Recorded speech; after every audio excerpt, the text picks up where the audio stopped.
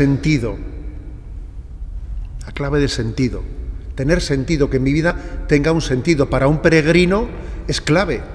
Es decir, bueno, yo a dónde voy, cuál es la razón de ser de mi vida. Me parece que la mayor pobreza de nuestro tiempo es la carencia de sentido, que nos lleva a cambiar nuestra condición de peregrinos pues por la condición de turistas, no sé, o quizás de vagabundos. ¿Eh?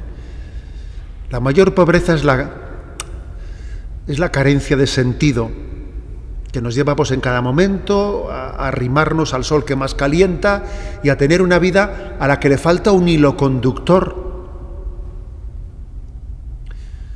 Solo el que tiene un porqué y un para qué en esta vida es capaz de afrontar cualquier, cualquier cómo.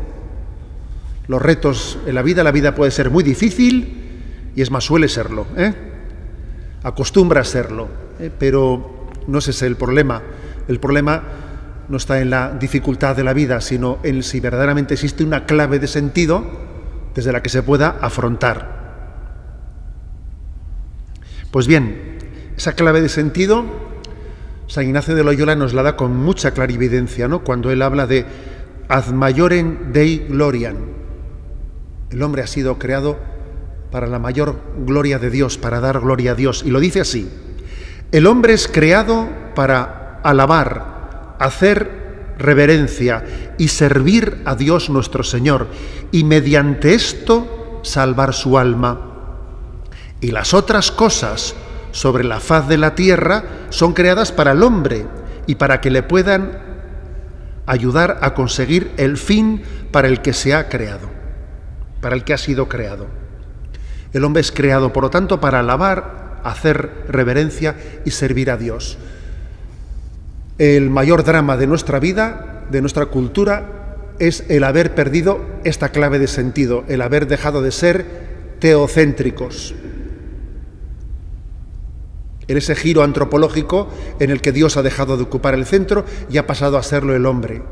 Y hemos perdido el tiempo absolutamente en un debate estéril entre si, si el hombre, si Dios está en el centro, el hombre pierde su identidad. Es absurdo, porque en realidad eh, en ese debate sobre si en el centro está Dios o si en el centro está el hombre, está respondido en Jesucristo.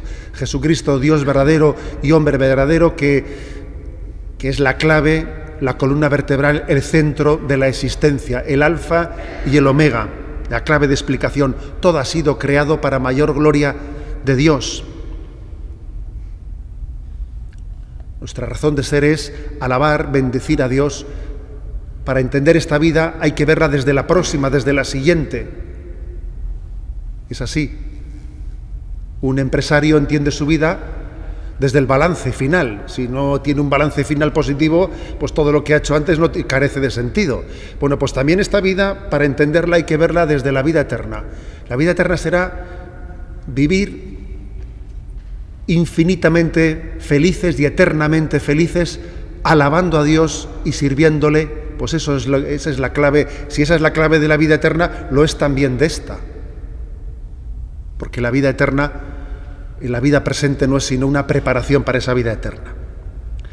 El sentido de nuestra vida es Dios.